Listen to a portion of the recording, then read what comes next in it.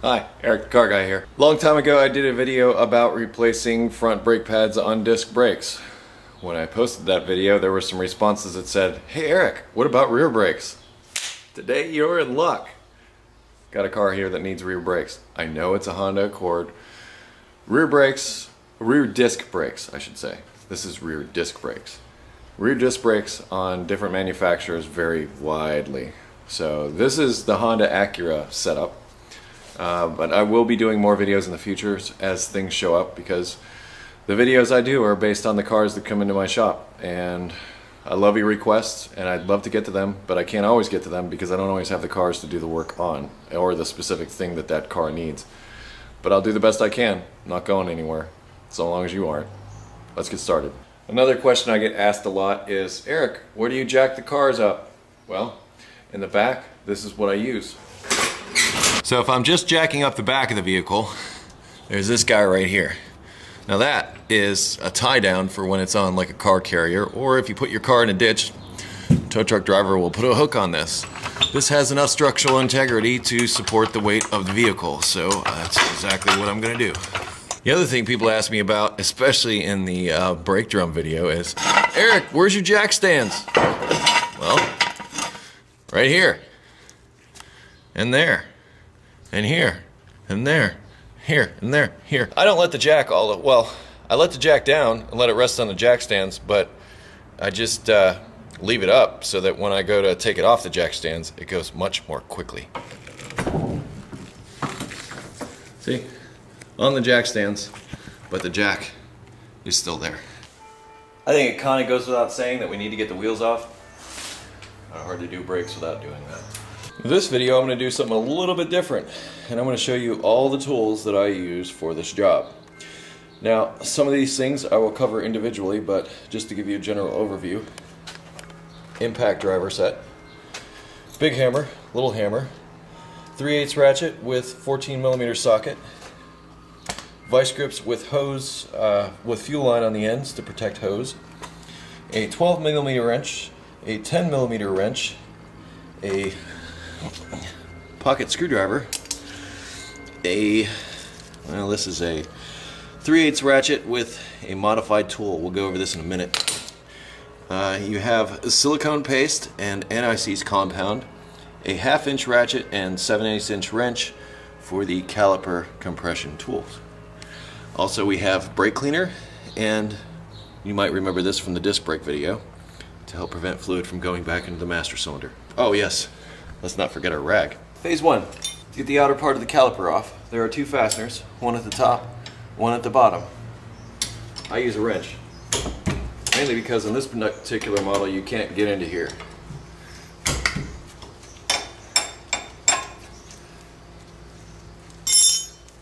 Forgot to mention a tool.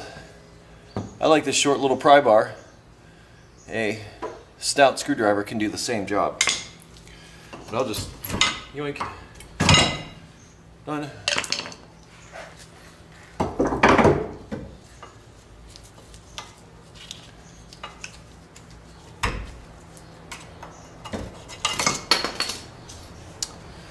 Something you never like to see on your brake pads. Not good. But if you do see something like this and you've got one side that's worn down this much and the other side looks normal, you may have a problem with that caliper either being these slide pins make sure they move like they should or it could possibly be the caliper itself. Um, if the boot, or if the uh, piston does not return back into its bore, then uh, it can possibly cause that same problem. Sticking caliper, and if that's the case, then you will need to replace it.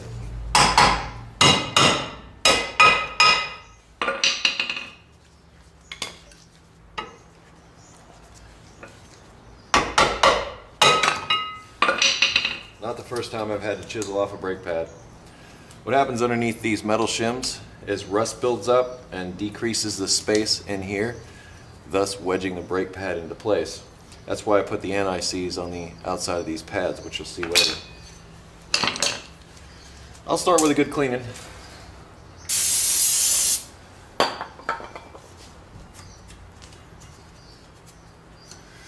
Next place I want to clean see it? Can you see it? No. Next thing I want to clean are these. And what these are, or what this is, actually, I'm showing you. Yeah? I'm trying to show you. I'm trying to show you is this little springy thing here, which I can take out. You might need to know this information if you ever have to actually change a caliper.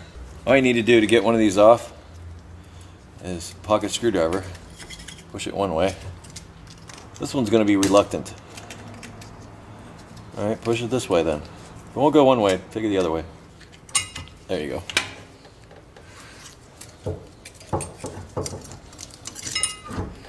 Ta-da! This is a spring, and what it does is when the caliper's on, it pushes on the brake pads to keep them in place, to keep them from coming out in this direction. Keeps them down in there. But also, more importantly, it helps prevent noise. So you don't want to lose this. When I'm in here doing this work, I will clean off the part where the pad touches the spring. Simple enough. Now it's important to know that you do not have to remove this when doing this job. I just did this for demonstration purposes, but this can stay in the caliper and not you won't have to mess with it. Uh, when I go to put this back in, these little metal tabs will probably be bent and I will have to bend them back in this direction, in the opposite direction in order to reinstall it. Okay, to reinstall it, let's go get one side up out of there.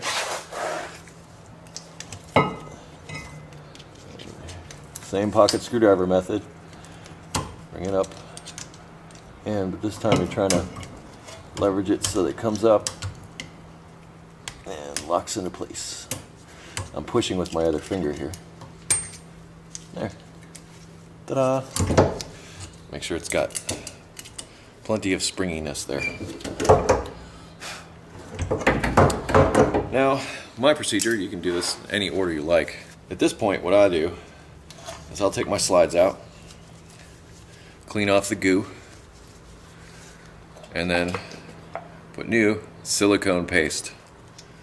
Sili don't use grease or any other kind of lubricants. Use silicone. Silicone's good with heat. Grease will dry up over time and cause these pins to stick. Silicone will not dry out, whereas grease will. So use silicone to lubricate these pins. And you see the bottom one has this little rubber thing on it. So if you took these out and you don't remember how they go back in, the bottom one has the rubber. And if not, what you'll get is a, a click when you apply the brakes a lot of times. And also, if this spring is not installed that I just showed you earlier, if that's not installed correctly, that can also cause a click during brake pad application. Because what that allows us to do is it goes back and forth inside its mount. All right, now that we've got that all lubricated, let's take the outer, or the uh, caliper mount off of the vehicle. This is where your 14 millimeter and your socket come in.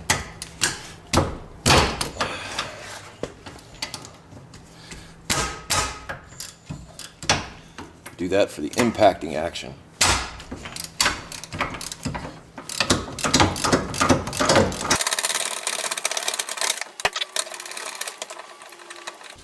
One.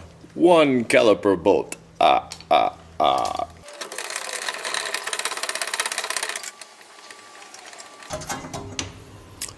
There you go. Set that guy aside. Now you can get your rotor off. And some of you may remember this procedure on how to remove Honda rotor screws. I'm probably not going to have to do this, but I usually do this just for good measure. But it's the two hammer method. I did a video on this, so I'm just going to do it. As I suspected, these came out very easily.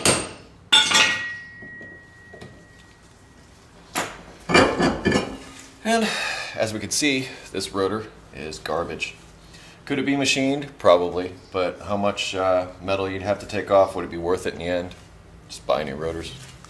Now I'm pretty sure that this is why you're watching this video. It's because you need to learn, or you need to figure out how to get this caliper piston back inside here so you can accommodate the new pads. Only on calipers where the parking brake assembly is part of the caliper itself is this a concern. Some uh, rear discs have a drum brake setup inside here uh, and there's no parking brake assembly out here and in that case you can just compress the piston just like you normally would for a front caliper because none of this mechanism is here. Well this is a ratcheting mechanism and it, uh, it needs to be turned back in. Conventionally this tool is used. This is a general universal tool set. It has different sized discs for turning in different types of calipers.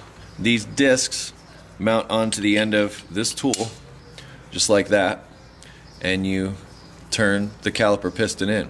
I'm going to show how to hook this up but I'm also going to show you something else. Now me I've worked on a lot of Hondas and I can't say this was generally my idea but uh, it's a good idea so I'm going to show it to you here. This is my caliper turning inner tool and this actually for me is a lot more efficient than breaking out the other tool. Now all this is is a bolt with a distributor keyway welded onto the end of it. And when I say that what I mean is if you've got an old Honda distributor this piece here there's a roll pin behind here that you can take out once you get the snap ring out and you can get this piece off. Weld that onto a bolt and as you can see it's shaved down a little bit uh, to accommodate the caliper. You got yourself a uh, caliper pusher inner tool. Kinda cool. Uh, I wish I was a better welder but what are you gonna do? It works. Now as promised I'm gonna show you both ways.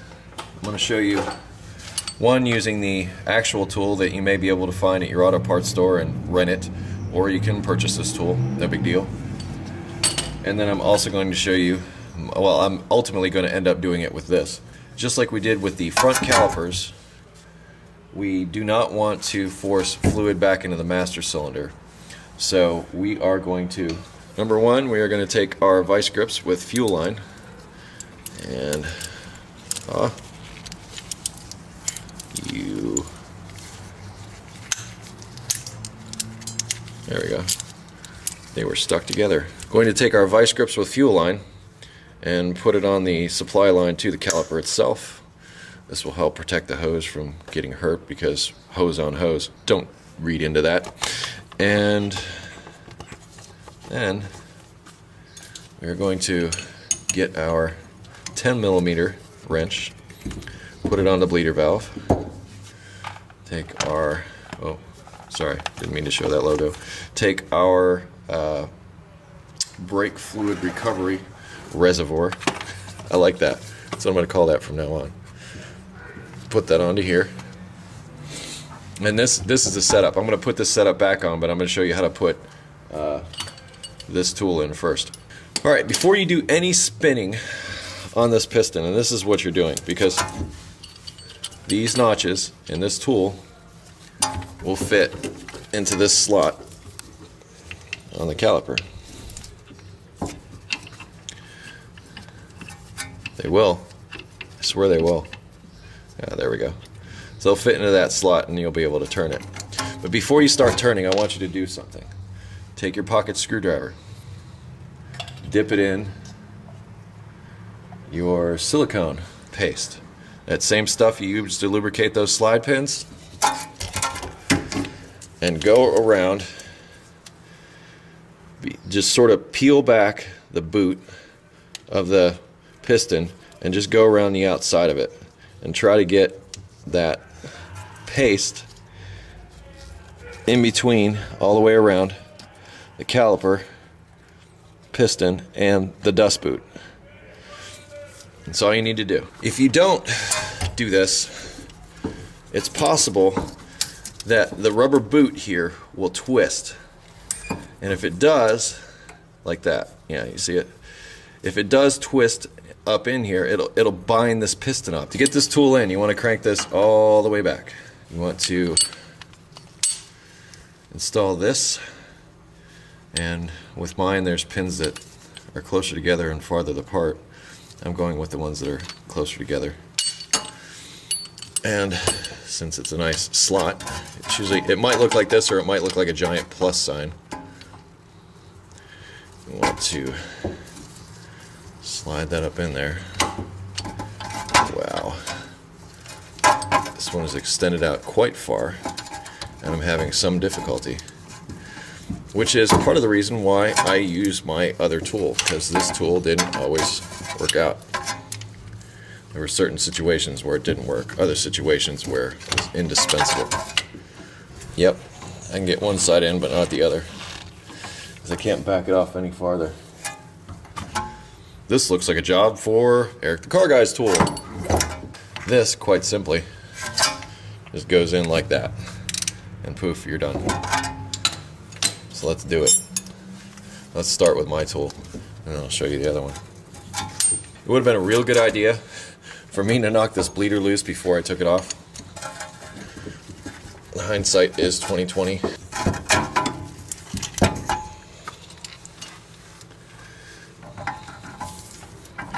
And with my tool, it just goes into a 17 millimeter socket and onto a 3 8 inch ratchet. And you just start spinning.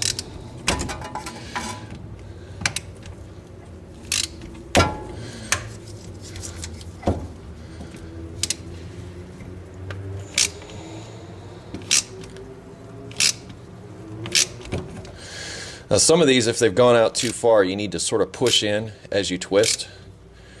The mechanism inside the caliper needs to re-engage. Alright, we showed you how I started, and we've got it in far enough probably to use the actual tool. So let's do that. This thing, this thing does, it, it pushes as it stalls. Wait a second, you didn't move at all.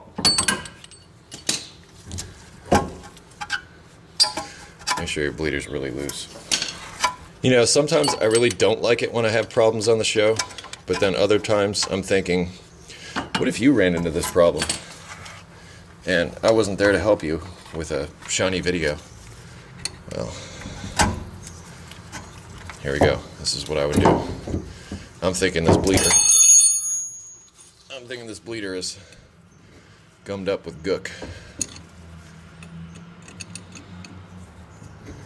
I'm just going to take it out. Yep, bleeder's useless. Bet you want to know how to make it unuseless, huh? There's supposed to be a little hole here. When I get done with it, it will be there.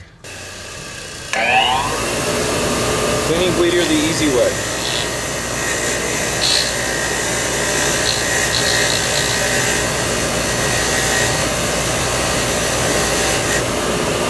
You may need to take it the rest of the way with like a, a pick. Go in there. And, and it's good to have these bleeders cleaned out because, you know, you're never really sure when you're going to need them. Now, if I didn't care about my master cylinder, I'm not saying that you're going to ruin the master cylinder by doing this, but there's a chance. And if there's a chance, and all you have to do is make sure everything works like it's supposed to, why not do it? All right, now let's put this guy back in here.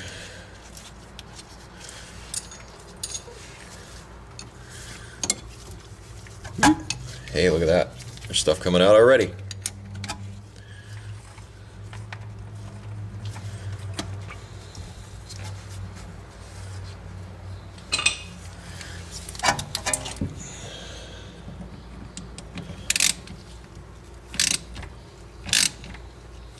Working like a charm now.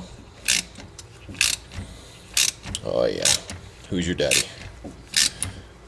Okay. Use the other tool.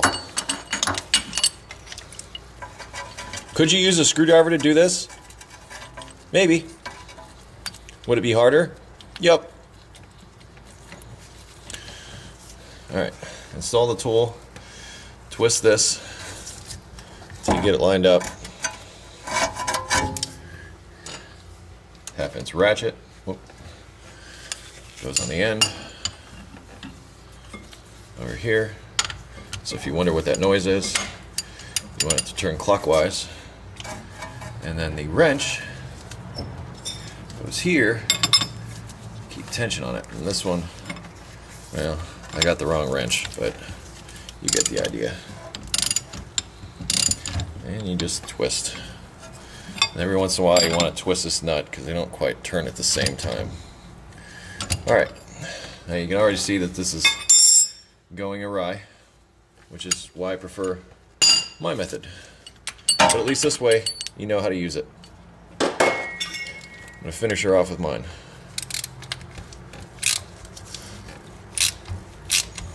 You want to make sure it's completely bottomed out. It'll still spin, but it'll be bottomed out. Alright, now it's all the way in there. Tighten down my bleeder. Important. Here. You will find that, yes, these will want to fight you. You want to make sure that this slot is directly straight up and down. Now some of these are like plus sign things, but see how that's slightly off? You want to line it up right with the middle of the caliper. You want to line it up right with this. So you want it at 12 o'clock.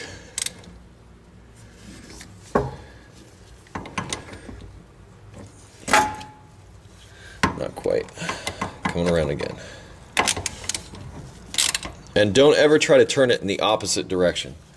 Turn it only one way. Turn it clockwise only once again, there are different manufacturers have different ways of doing this, but if you're working on a Honda, this is pretty much the rear brake setup. All right, so make sure that that piston is at 12 o'clock. You can remove your vice grips now. See, no real harm was done to this hose in the making of this movie. New rotors are coated with a substance called cosmoline. It is a rust inhibitor. If these things sat on the shelf without this coating on it, this would just be one big hunk of rust. Uh, the way I get it off is I just take a little bit of my brake clean, spray it around the outside, get a rag, wipe it down. I'm not worried about this. I'm just worried about where the brake pads make contact.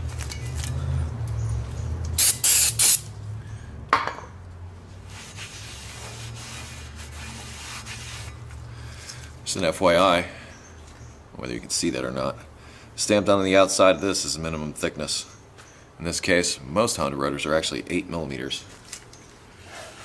When you install the rotor, make sure that your rotor screw holes are lined up with the actual holes on the on the uh, hub assembly. There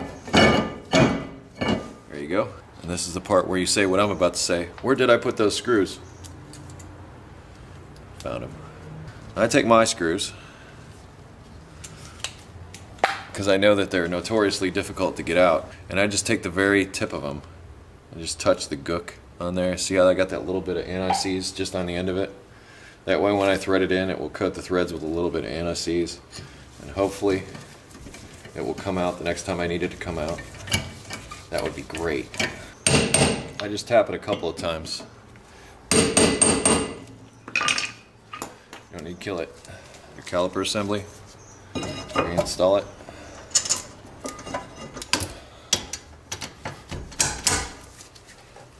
Ta-da! Now it's time to install your brake pads. You get brake pads, you get two of them with brake wear indicators on them. Two pads. Now personally, when these come from the factory, they come with the indicator on the inside pad and it's facing down. And what I mean by indicator is this, this little metal tab, when a pad gets worn down far enough, actually makes contact with the rotor and makes a heck of a noise. That's what that's there for. That's why it's called an indicator. The indicators, in my personal opinion, should always be put in the same orientation. And on the back ones, that is in the down position. So the indicator should be at the bottom. Uh, and I, I, call it on the leading edge because the first well, technically the first place as the car is rolling in a forward direction to make contact is with that. I see it a lot where people put them on with them at, on the top. I hate that. I put them down here on the bottom. Before I install the brake pads, the outer brake pads, those are interchangeable. I mean, you got those here, there, and everywhere. For installing the brake pads, I take a little bit of my anti-seize compound. When I say a little bit, that's what I mean and I just put a little bit where it would make contact with those springs, a little bit where it makes contact with caliper on the outside and the inside, just like in front disc brakes. Same thing over here. And you see how much I'm putting on. That's just a little bit. There. All the important parts are now lubricated. Install it inside the caliper and you can sort of gauge how easily it moves. Sometimes they, they don't want to go in and just like that, a little smack will do you. But you want to make sure that they, you know, they've got some movement to them. Now quite simply, and this is the reason why you had to put that at 12 o'clock, is because on the back of this inner pad there's that pin that sticks up. That pin needs to fit inside that slot that you used to turn it in. See? It needs to fit inside the slot. If it doesn't fit inside the slot, you're going to get a spongy brake pedal. And the reason is, is because the caliper is going to make contact with this pin instead of the whole brake pad. So it's going to, it's to be pushing this in an odd uh, orientation. Also, you want to make sure that these are lined up like that. If they're not, if they're twisted like this one was, it won't necessarily go on because there's these little slots on the caliper itself when you go to put this on that that needs to go into. See how nice that was? I sometimes put, once again, just a small, like that much, anti-seize on these bolts. That way I can get them back out again should I need to.